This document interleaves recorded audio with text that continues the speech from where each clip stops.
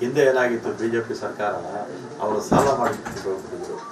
ಈಗ ಸಾವಿರದ ಒಂಬೈನೂರ ನಲವತ್ತೇಳರಿಂದ ಎರಡು ಸಾವಿರದ ಹದಿನೆಂಟರವರೆಗೆ ನಮ್ಮ ಸಾಲ ಎರಡೂವರೆ ಲಕ್ಷ ಕೋಟಿ ಇತ್ತು, ನಮ್ಮ ರಾಜ್ಯ ಸಾಲ ಎರಡೂವರೆ ಲಕ್ಷ ಕೋಟಿ. ಯಾವಾಗ? ಸಾವಿರದ ಒಂಬೈನೂರ ನಲವತ್ತೇಳರಿಂದ ಎಲ್ಲ ಮುಖ್ಯಮಂತ್ರಿಗಳು ಎರಡು ಸಾವಿರದ ಹದಿನೆಂಟರವರೆಗೂ ಮಾಡಿದಂಥ ಸಾಲ ಎರಡೂವರೆ ಲಕ್ಷ ಕೋಟಿ. ಆಮೇಲೆ ನಾಲ್ಕೇ ವರ್ಷದಲ್ಲಿ ಬೊಮ್ಮಾಯಿ ಅವರು ಯಡಿಯೂರಪ್ಪನವರು ಐದೂವರೆ ಲಕ್ಷ ಕೋಟಿ ಸಾಲ ಮಾಡಿದ್ದಾರೆ.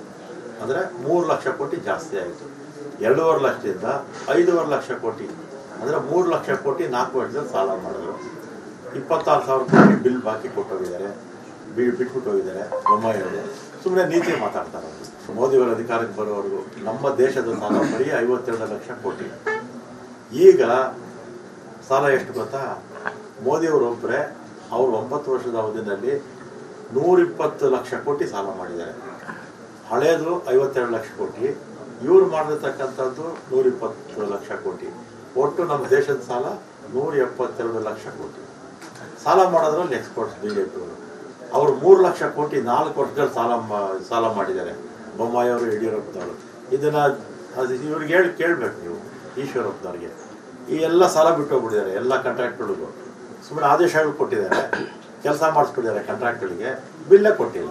ಸರ್ ಅಷ್ಟು ಸಾಲ ಇರುವಾಗ ಬಿಲ್ಲೆಲ್ಲ ಮಾಡುವ ನಾವು. ಹದಿನೆಂಟರಲ್ಲಿ ನೀವು ಹೋಗೋ ಮುಂದೆ ಇದೇ ಸಾಲ ಮಾಡಿ ಹೋಗಿದ್ರಿ ಅಂತ ಅವ್ರ ಆರೋಪ ನಾವು ಈಗ ಅಂಕಿಅಂಶ ತಗೊಳ್ಳಿ. ನನ್ನ ಮಾತು ಕೇಳಕ್ ಹೋಗ್ಬೇಡಿ. ನೀವು ಇದಕ್ಕೆ ಹೋಗಿ ದಾಖಲೆಗೆ ಹೋಗಿ. ಸಾವಿರದ ಒಂಬೈನೂರ ನಲವತ್ತೇಳರಿಂದ ಎರಡು ಸಾವಿರದ ಹದಿನೆಂಟರವರೆಗೆ ನಮ್ಮ ಸರ್ಕಾರ ಇರೋವರೆಗೂ ಕೇವಲ ಎಷ್ಟು? ಎರಡೂವರೆ ಲಕ್ಷ ಕೋಟಿ ಸಾಲ ಇತ್ತು. ಈಗ ಐದೂವರೆ ಲಕ್ಷ ಕೋಟಿ ಇವ್ರು ಬಿಟ್ಟೋದಾಗ ಅಂದ್ರೆ ಮೂರು ಲಕ್ಷ ಕೋಟಿ ನಾಲ್ಕು ವರ್ಷದಲ್ಲಿ ಮಾಡಿದ್ರು. ಸ್ವಾತಂತ್ರ್ಯ ಬಂದಾಗ್ಲಿಂದ ಎರಡು ಸಾವಿರದ ಹದಿನೆಂಟರವರೆಗೂ ಎರಡೂವರೆ ಲಕ್ಷ ಕೋಟಿ ಎಲ್ಲಾ ಮುಖ್ಯಮಂತ್ರಿಗಳು ಮಾಡಿದ್ರು. ಸರ್ ಹದಿಮೂರಿಂದ ಹದಿನೆಂಟರವರೆಗೂ ಸ್ವತಂತ್ರ ನಂತರ ಹದಿಮೂರನೇ ಎರಡ್ ಸಾವಿರದ ಹದಿಮೂರವರೆಗೂ ಎಷ್ಟಾಗಿತ್ತು ಅಷ್ಟನ್ನೇ ಸಿದ್ದರಾಮಯ್ಯ ಅವರು ಹದಿಮೂರಿಂದ ಹದಿನೆಂಟರ ಮಾಡಿದ್ರು. ಇಲ್ಲ ಅದೆಲ್ಲ ಇದು ಈಗ ಅವ್ರು ಹೇಳ್ತಾರೆ ಆಯ್ತು ನಾವು ಮಾಡಿದ್ವಿ ನೀವು ಯಾಕೆ ಮಾಡಿದ್ರಿ? ಈಗ ನಾವು ಮಾಡಿದ್ವಿ ಅಂತ ಹೇಳ್ತೀರಾ ನೀವು ಯಾಕೆ ಮಾಡಿದ್ರಿ? ಈಗ ಯಾಕೆ ನಮ್ಮನ್ನು ದೂರ್ತೀರ ನೀವು? ಸಾಲ ಯಾಕೆ ಸಾಲ ಕಾಂಟ್ರಾಕ್ಟಿಗೆಲ್ಲ ಸಾಲ ಬಿಟ್ಟೋದ್ರಿ ನೀವು? ಕಾಂಟ್ರಾಕ್ಟ್ಗಳಿಗೆ ಎಲ್ಲಿ ಬಿಲ್ ಕೊಡ್ಬೇಕಾಗಿತ್ತಲ್ಲ? ಸುಮ್ಮನೆ ಆದೇಶಗಳು ಕೊಟ್ಬಿಟ್ರು. ಆ ದುಡ್ಡು ಹಣನೇ ಬಿಡುಗಡೆ ಮಾಡಿಲ್ಲ ಸುಮ್ಮನೆ ಬಿ ಜೆ ಪಿಯವರು ನೀತಿ ಮಾತಾಡ್ತಾರೆ ಅಷ್ಟೇ. ಮಾಡೋದು ಅನಾಚಾರ ಮನೆ ಮುಂದೆ ಬೃಂದಾವನ ಅಂತ ಸುಮ್ಮನೆ ಮಾತಾಡ್ತಾರೆ ಅಷ್ಟೇ ಅವರು.